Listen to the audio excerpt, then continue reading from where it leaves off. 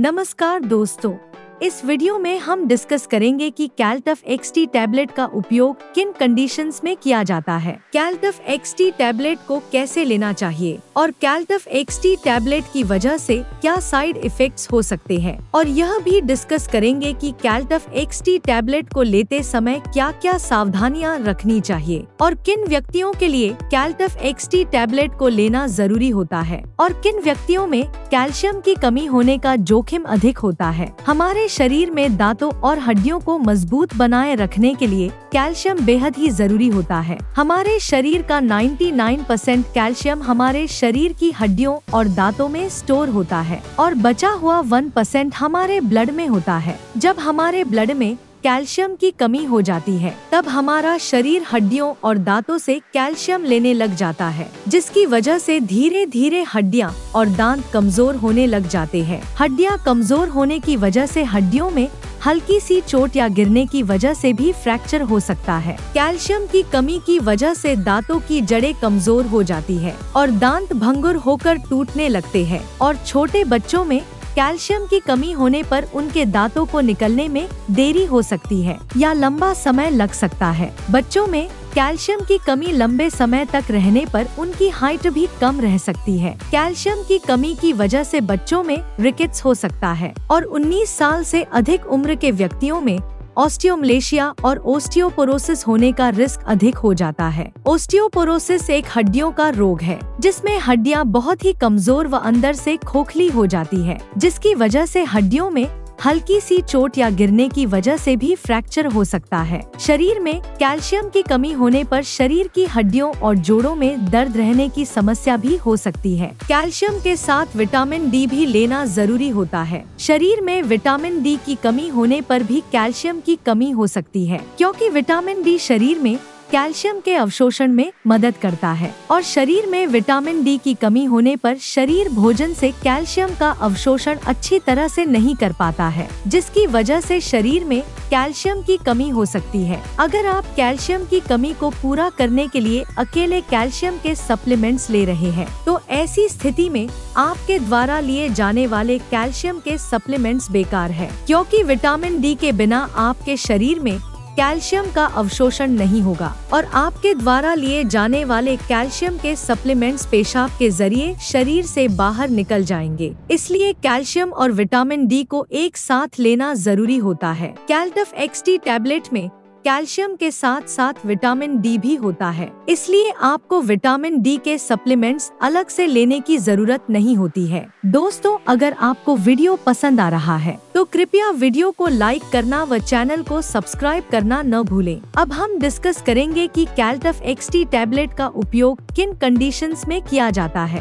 कैल्टफ XT tablet का उपयोग शरीर में कैल्शियम की कमी होने पर, हड्डियों में फ्रैक्चर होने पर रूमेटोइड अर्थराइटिस और ऑस्टियोआर्थराइटिस होने पर, शरीर के जोड़ों, हड्डियों व मांसपेशियों में दर्द होने पर न्यूरोपैथिक दर्द होने पर यानी नसों का दर्द होने पर डायबिटिक न्यूरोपैथी होने पर, गर्भवती महिलाओं और स्तनपान करा रही महिलाओं के लिए ऑस्टियोपोरोसिस होने पर ऑस्टियोमलेशिया या रिकेट्स होने पर, शरीर में न्यूट्रिशन की कमी होने पर, शरीर में दांतों जोड़ों और हड्डियों को स्वस्थ बनाए रखने के लिए। और जो व्यक्ति मिर्गी या दौरों की दवाइयाँ ले रहे हैं, जैसे फेनोबारबिटल फेनिटोइन, उन व्यक्तियों को भी डॉक्टर कैल्टफ एक्सटी टैबलेट को लेने की सलाह दे सकता है। अब हम डिस्कस करेंगे कि किन व्यक्तियों में कैल्शियम की कमी होने का जोखिम अधिक होता है और किन व्यक्तियों को कैल्टफ एक्सटी टैबलेट को लेने की ज़रूरत पड़ सकती है। जो व्यक्ति शुद्ध शाकाहारी डाइट लेते हैं और दूध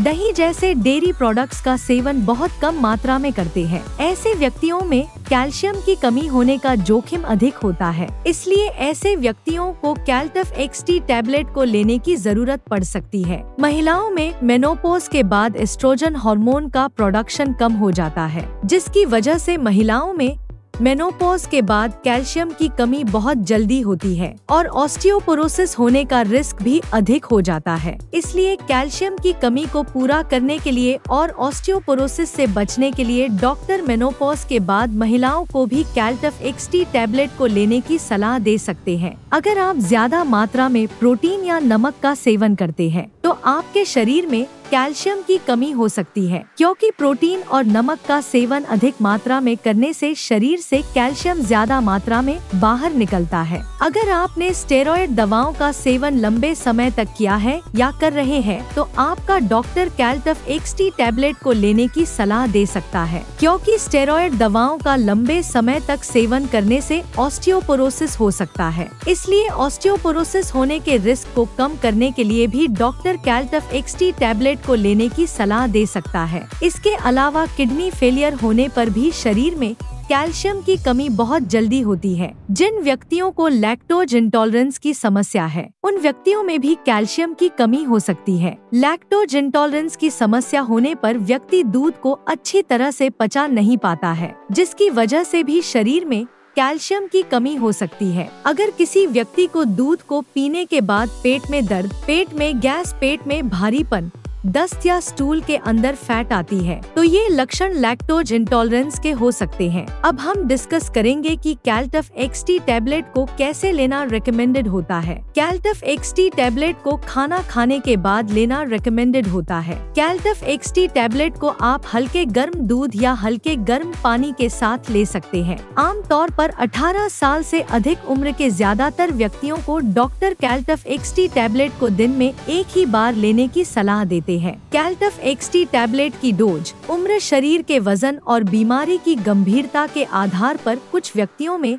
इससे अलग भी हो सकती है। इसलिए आपको कैल्टफ एक्सटी टैबलेट को आपके डॉक्टर द्वारा बताई गई डोज में ही लेना चाहिए। कैल्टफ एक्सटी टैबलेट को कितने समय तक लेना चाहिए? यह उम्र और बीमारी की गंभीरता के आधार पर सभी व्यक्तियों में अलग अलग हो सकता है। इसलिए कैल्टफ एक्सटी टैबलेट को डॉक्टर की सलाह के बिना ज़्यादा लंबे समय तक नहीं लेना चाहिए। दूध में कैल्शियम भरपूर मात्रा में पाया जाता है और दूध से बने उत्पाद जैसे पनीर और दही में भी कैल्शियम अधिक मात्रा में पाया जाता है। इसलिए अगर आप अपने शरीर की कैल्शियम की कमी को प्राकृतिक खाद्य पदार्थों से पूरा करना चाहते हैं तो आपको इनका सेवन पर्याप्त मात्रा में करना चाहिए। एक लीटर दूध में लगभग 1300 सौ कैल्शियम होता है। अगर कोई व्यक्ति या बच्चा प्रतिदिन एक लीटर दूध को दो भागों में बांट कर सुबह शाम पी लेता है तो उसमें कैल्शियम की कमी नहीं होती है। इसके अलावा मूंग दाल, बादाम नारियल, सोयाबीन, आम, संतरा और आंवला भी कैल्शियम से भरपूर होते हैं। इसलिए इनका सेवन आपको भरपूर मात्रा में करना चाहिए। साइड इफेक्ट्स की बात करें तो वैसे तो कैल्टफ एक्सटी टैबलेट एक बहुत ही सुरक्षित दवा है और ज़्यादातर व्यक्तियों में कैल्टफ एक्सटी टैबलेट की वजह से कोई साइड इफेक्ट्स नहीं होते हैं। लेकिन अगर आप कैल्टफ एक्सटी टैबलेट को रिकमेंडेड डोज से ज़्यादा डोज में लेते हैं तो इसकी वजह से ब्लड में कैल्शियम का लेवल ज़्यादा हो सकता है, जिसको हाइपर कैल्सिमिया भी कहते हैं। शरीर में कैल्शियम का स्तर ज़्यादा होना भी नुकसानदायक होता है। कुछ रिसर्च में यह पाया गया है कि ब्लड में कैल्शियम का लेवल ज़्यादा होने से दिल से संबंधित रोग होने का रिस्क अधिक हो जाता है। किडनी में पथरी होने का रिस्क भी अधिक हो जाता है। इसलिए डॉक्टर की सलाह के बिना कैल्टफ एक्सटी टैबलेट को ज़्यादा डोज में या ज़्यादा लंबे समय तक लेने से बचना चाहिए। अब हम डिस्कस करेंगे कि कैल्टफ एक्सटी टैबलेट को लेते समय क्या क्या सावधानियाँ रखनी चाहिए।